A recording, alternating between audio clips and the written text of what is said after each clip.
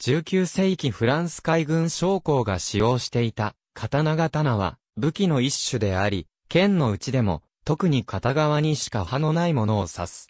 切断力を増すために、反りのついた構造のものが多い。反りのついていないものは特に自家刀と称する。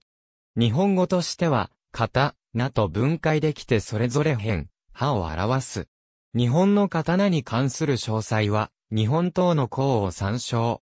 立ち備前おさ船助貞付青貝、螺鈿立ちごしらえ刀は、目標物を断ち切るための道具であるが、武器として作られたものは一つも可能な先端を持つことが多い。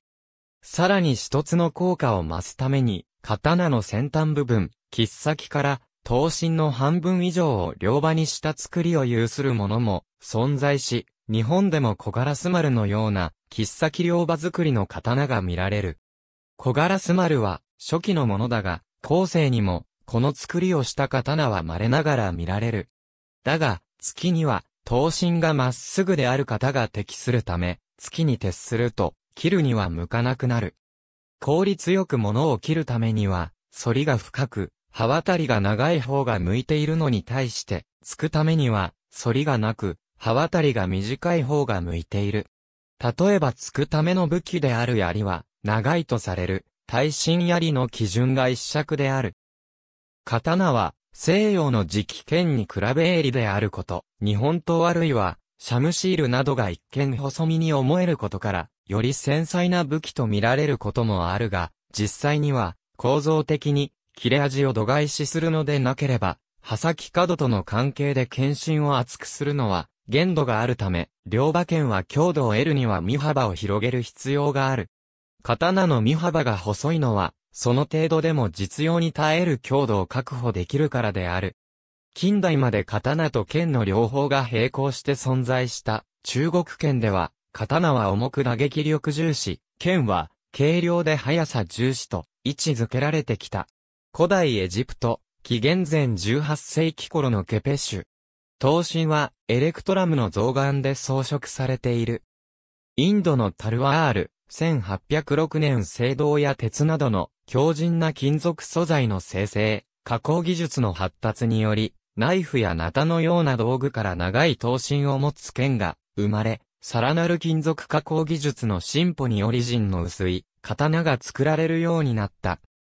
一部において、中国から伝わった自家刀をもとに作成が始まったと言われるが、日本でも紀元前から青銅製、鉄製の自家刀が作られており、これらは、製法からして異なるもので、日本刀の元とは言えない。日本においては、平安時代の頃から、独特の反りをつけた、太刀と呼ばれる刀が製作され始め、武人の一般的な武器となりこの時代以後の刀を日本刀という。また、アジア諸国では、11世紀から13世紀頃にかけて、馬上での切り合いに適した、ペルシャのシャムシールやインドのタルワールのような反りのついた刀が生まれている。中国においては、五冠頃から、それまで主流だった剣に代わり自家刀が用いられるようになる。これは、騎馬民族である郷土との騎乗戦闘が増え、すれ違いざまに刀剣を振るうことが多くなってきたため、従来の剣では、このような使い方は向いておらず、折れやすかったためである。移行武器としては、刀が主流になっていくが格式は剣に劣った。エジプトでは、紀元前2000年期から、緩やかに湾曲した内側に刃を持つ、内刃のケペシュと呼ばれる武器が使われていた。紀元前7世紀頃からはカルタゴなどのフェニキア人が、鎌のように湾曲する弧を描いた内刃を持つハルペーと呼ばれる武器を使い出した。西ヨーロッパでは、肉切り包丁や、剣ナタをそのまま長大化したようなファルシオンやハンガー、グロスメッサーと呼ばれる、自家刀が用いられた。これらの自家刀は、従来の剣と比べ安価で使いやすかったため、民衆からの長母を主体とする下級兵士や一部の騎士に使用されただけでなく、ナタや斧のような日用品としても用いられた。しかし、格式は低く正式な刀剣であるとはみなさない場合も多かった。16世紀頃中によって重い鎧が廃れたことで、騎兵隊の身につけたサーベルなど、刀が見直されることとなった。刀に対応する言葉もなく、すべて、ソードとして分類される。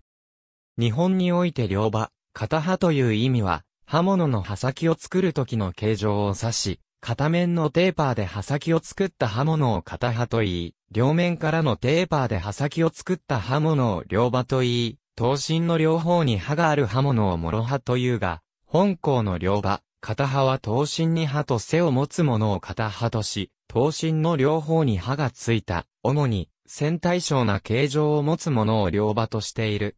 中国日本。ありがとうございます。